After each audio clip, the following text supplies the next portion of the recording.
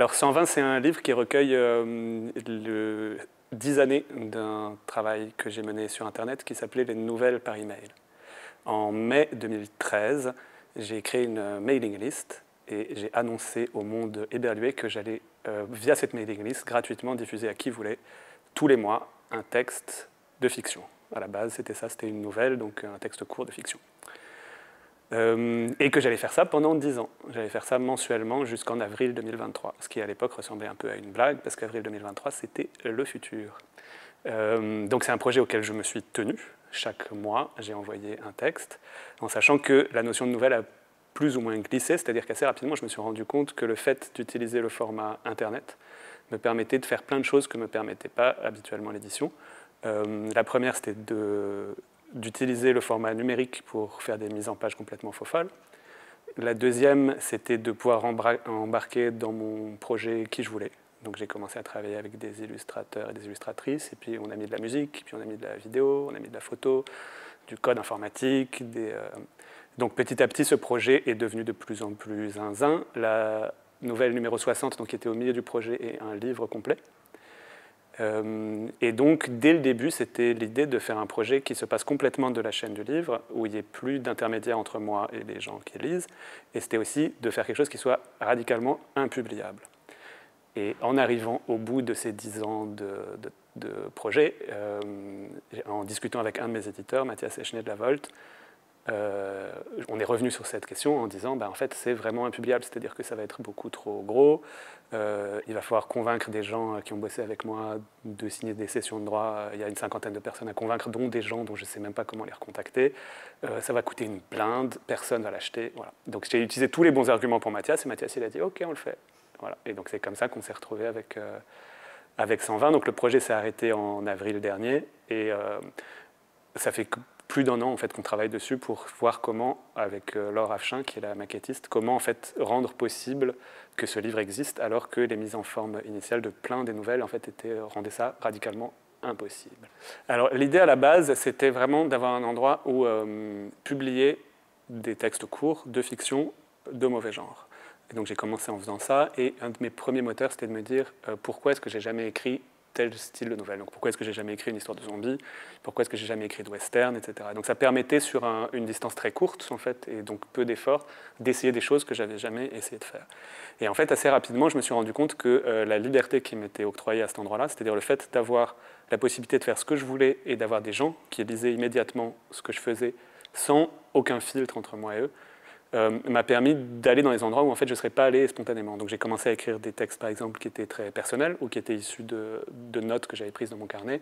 Et puis petit à petit aussi de construire des euh, rendez-vous euh, récurrents. C'est-à-dire aussi le fait d'envahir 10 ans avec ce travail, je me suis dit assez rapidement que par exemple tous les mois de mai, j'allais écrire un texte qui se passait dans le même univers fictif que j'ai développé avec Stéphane Perger qui s'appelle Point du jour.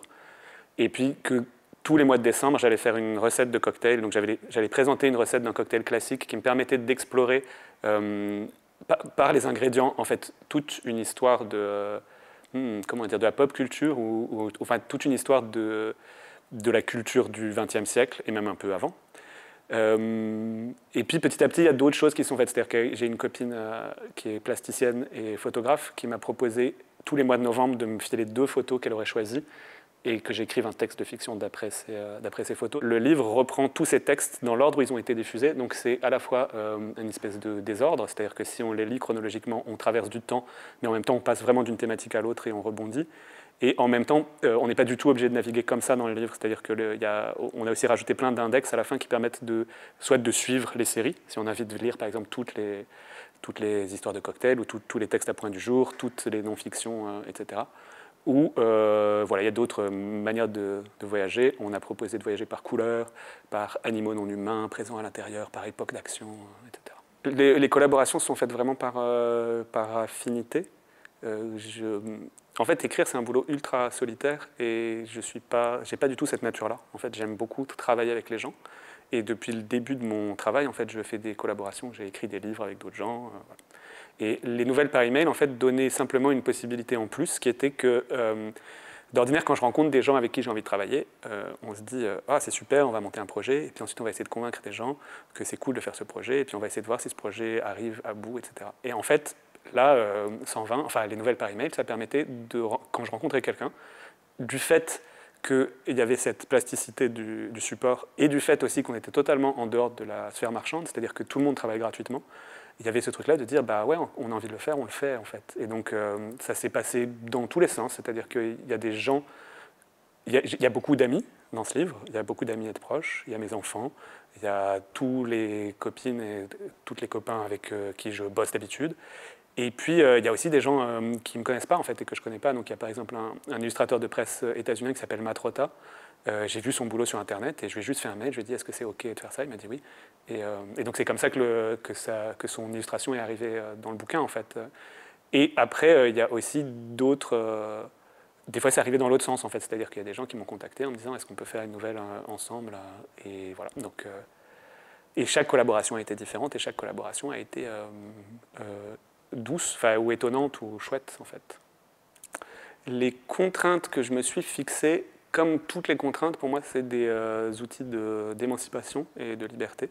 Et hum, c'est les règles auxquelles j'accepte d'obéir, c'est les règles que je me fixe moi-même. Et quand elles sont un peu euh, arbitraires, euh, ça me permet je crois, d'aller euh, d'aller ailleurs, en fait, de, découvrir d'autres trucs.